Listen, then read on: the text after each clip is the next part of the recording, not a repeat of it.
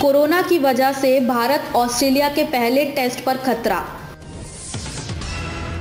सलमान खान के ड्राइवर और दो स्टाफ कोरोना पॉजिटिव, एक्टर ने खुद को किया आइसोलेट।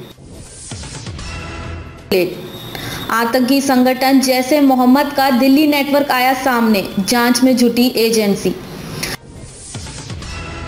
से आ रहे थे आतंकी सुरक्षा बलों ने एनकाउंटर में दो लोगों को किया ढेर।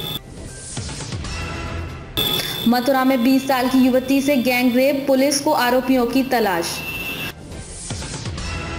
राहुल ने इंदिरा गांधी को किया याद, कहा उनके प्रभावशाली नेतृत्व की दी जाती थी मिसाल।